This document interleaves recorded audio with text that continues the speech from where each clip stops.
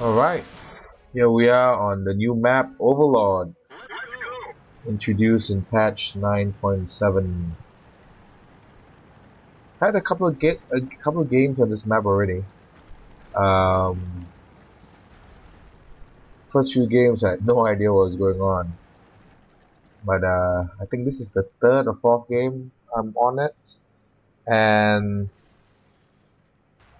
in the previous games I wasn't in a TD and I noticed that on this side of the map uh, TDs were using this particular spot to snipe.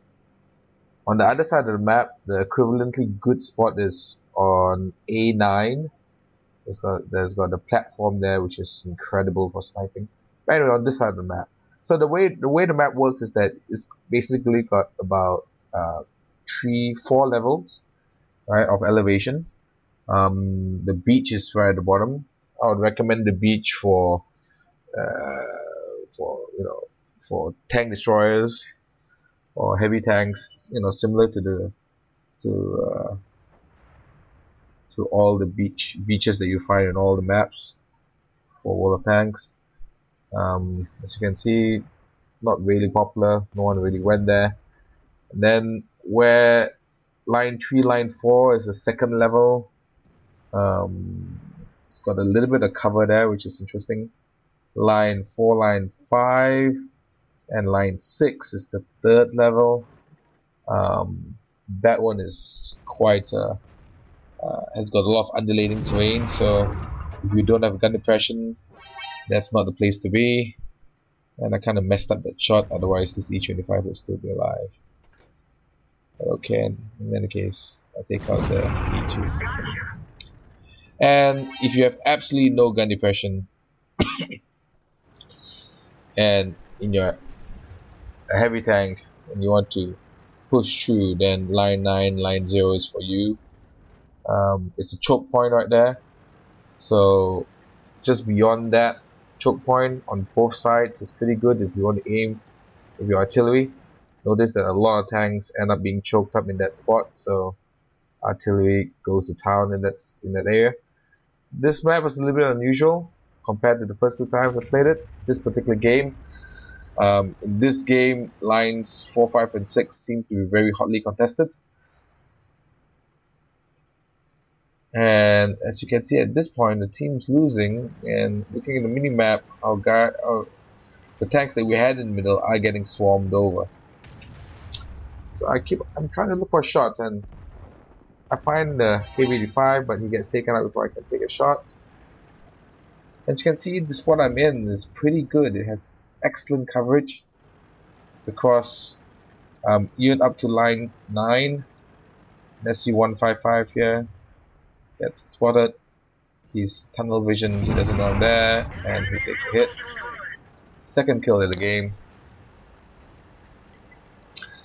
I decide that I really need to help out the guys in the middle. Quite a lucky shot to track. KV3. Looks like he used his repair kit earlier. So he gets taken out of the game.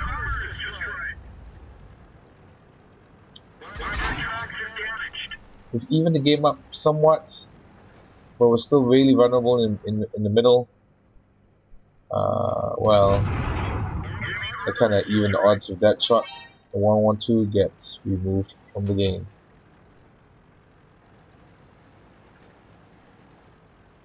At this point, I think the balance of the battle shifts back into our favor. And as you can see, most teams are going through the middle. It's the shortest route to get through to the other side.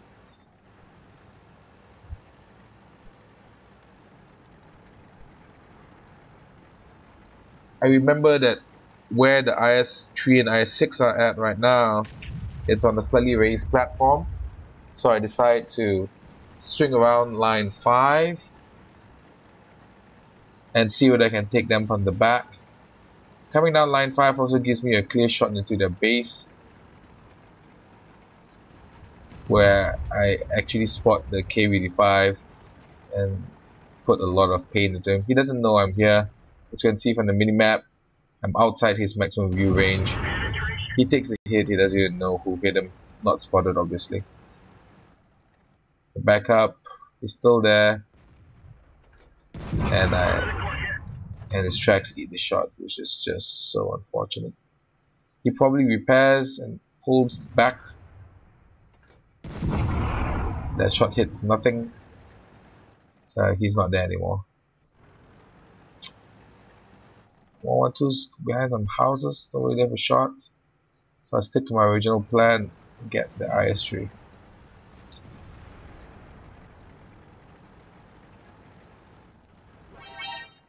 Ah!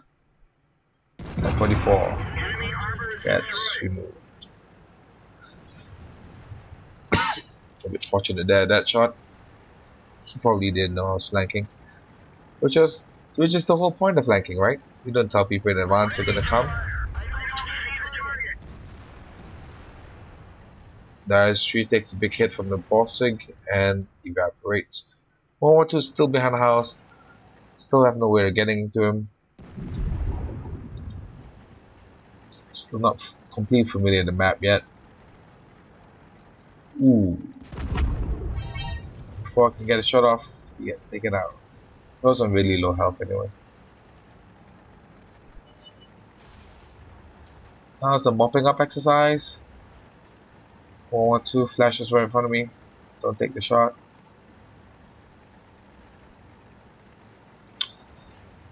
Ah, not sure I was doing there. And she hits me and bounces somehow. Let's see where that shell hit. Probably hit my superstructure. He was using heat. It's quite amazing that it bounced. Looking for the last guy. I make a plea to the team to let me have him. Of course, they ignore me. But I try my best to get there anyway. I'm experimenting with uh, eating chocolates on this tank. I noticed that the pickup is just that bit a bit faster. So it gives me a bit more opportunity to climb up steep hills like that quicker and I'm in the perfect position to take this kill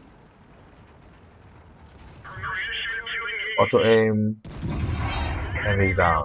That secures my top gun. So that's Overlord. Thank you very much for watching